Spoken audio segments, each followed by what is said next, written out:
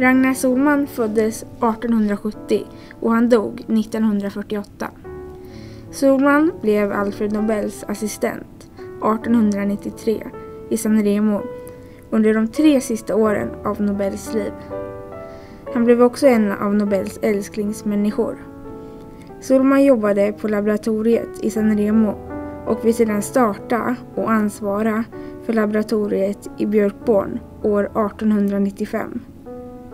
När Alfred Nobel dog blev Solman testamentsexekutor tillsammans med Rudolf Liljeqvist. De skulle se till att Alfred Nobels testamente genomfördes och de arbetade med att skapa Nobelstiftelsen.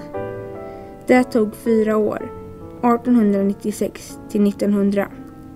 Solman var gift med Ragnhild Ström och de hade fyra barn.